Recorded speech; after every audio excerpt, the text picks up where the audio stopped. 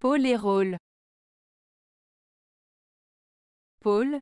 Les pôles sont des points opposés et extrêmes d'une ligne, d'une surface ou d'un objet. Ils sont souvent utilisés pour décrire les extrémités d'un axe ou d'une échelle. Exemple, les pôles nord et sud de la Terre représentent les points les plus au nord et au sud de notre planète. Dans un aimant, il y a un pôle nord et un pôle sud qui s'attirent mutuellement.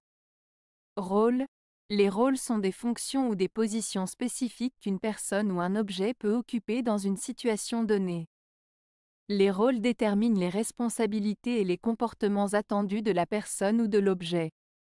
Exemple, dans une pièce de théâtre, les acteurs jouent différents rôles tels que le héros, le méchant ou le personnage comique. Dans une équipe de travail, chaque membre peut avoir un rôle spécifique, comme le chef de projet, le responsable des finances ou le coordinateur des communications. Différence La principale différence entre pôle et rôle réside dans leur signification et leur utilisation. Les pôles se réfèrent à des points opposés ou extrêmes, tandis que les rôles désignent des fonctions ou des positions spécifiques.